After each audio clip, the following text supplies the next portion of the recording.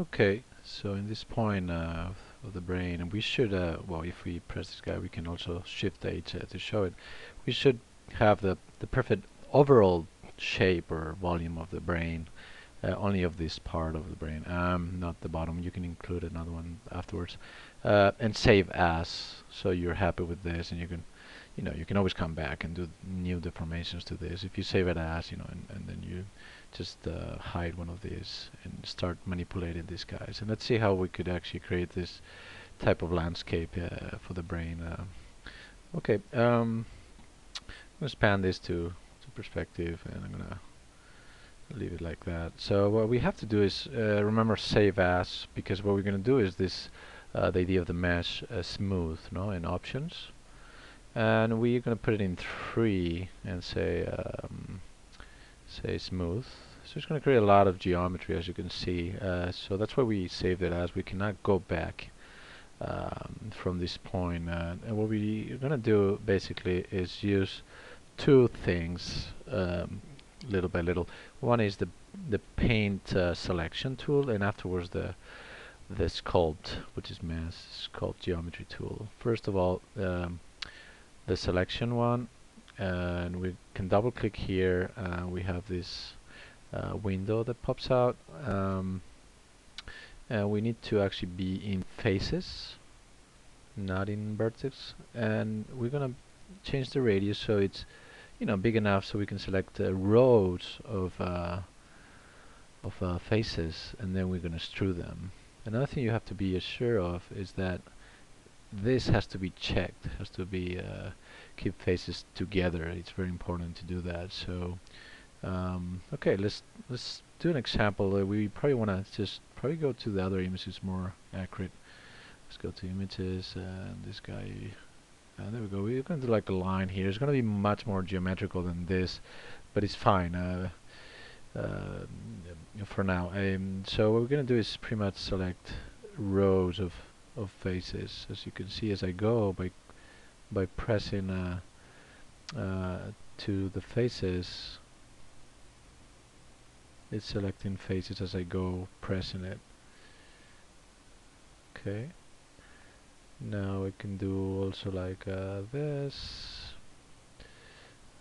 or leave that away and like control C there because I thought I didn't like it. Uh, we don't want straight lines. The, the less straight lines the better and if we had a powerful com uh, computer, not my case, uh, we probably want would probably want to have uh, uh also uh, let's control C. They, they shouldn't touch. There has to be a gap there. Uh, we probably want more meshes, more polygons or here, but it's good with mesh too.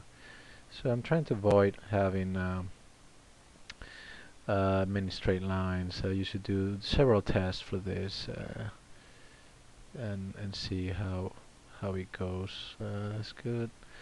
And I'm gonna select that just to let you see it aggregates uh, faces. Uh, be be aware that you know it's just the radius should be according to what you want. Uh, okay, that's fine.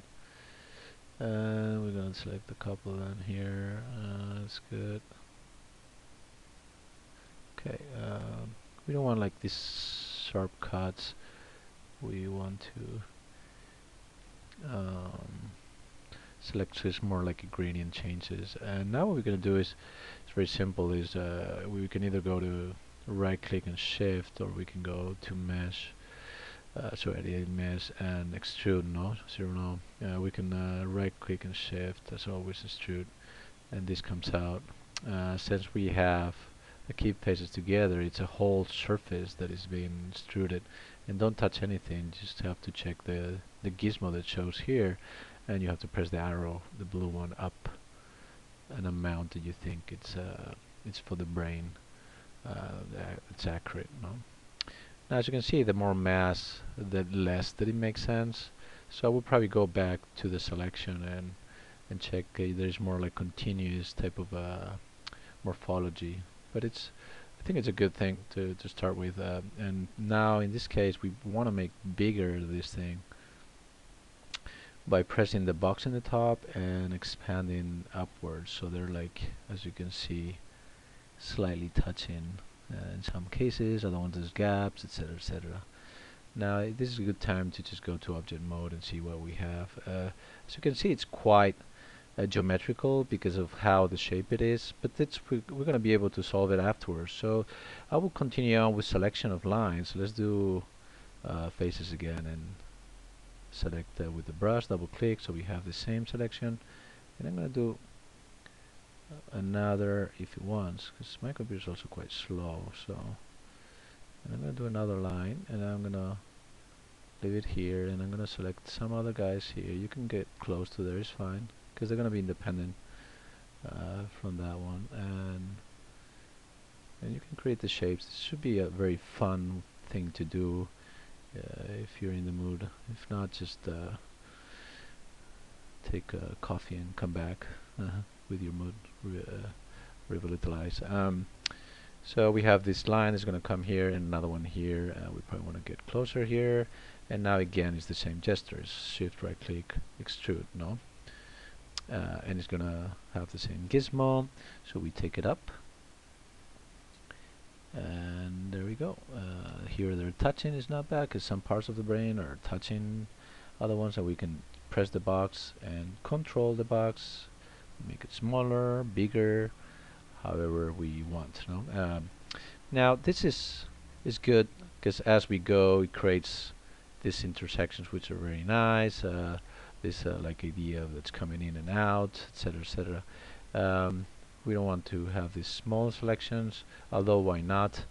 And we're gonna have to do the whole thing from the top area and probably the bottom is going to be a, a, different type of thing probably uh, we could solve it uh, differently but we we can just extrude different amount as we go down so it has different feeling no?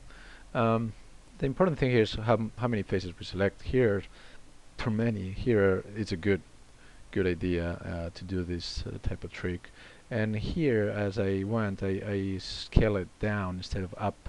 Here uh, you can do it differently in different cases because one areas will be pushing uh, in the real world uh, some other parts of the brain. So it's fine if you do different type of scaling after doing the extrusion. Now what I will do is uh, another thing is after you're in this step and you have a nice type of landscape I will select the the sculptor like mass sculpt geometry tool and I I will press like the uh, radius that is according to what you want bigger smaller and and this one and probably push or pull depending on what you want. You can push some parts in the top. As you can see it changes so it loses that that type of uh, uh, geometric uh, touch you see. So you start doing this type of uh, insertions and, and modifications so you have at the end a more a less geometrical and more organic form which is what we want which is the, the brain. Another thing you could just pull instead of push uh, from the from this area so it's less uh, like a landscape. You can do uh, more of a sweeping around etc etc so at the end you should have uh, quite interesting um, form if you uh, if you do the whole thing. And and if you if you're not happy about the overall I mean do the render like going uh, close to the area that you like more in your brain like here and do a beautiful render of these landscapes that uh, no otherwise uh, are possible to be done uh, differently than what we're doing which is very very uh, nice. Uh, the next step would be of course to get in here and do something with this beauty that comes from the bottom of this like stalactites cave I think this will be the next step. It's going to be like even more interesting that uh, brain uh, from the outside itself. But for now uh, let's stay with the outside so you're more and more happy about the perfection of of this uh, landscape uh, landscape equals uh, brain. Okay I think it's a great tip. So you can go on with this as much as you as you can. Great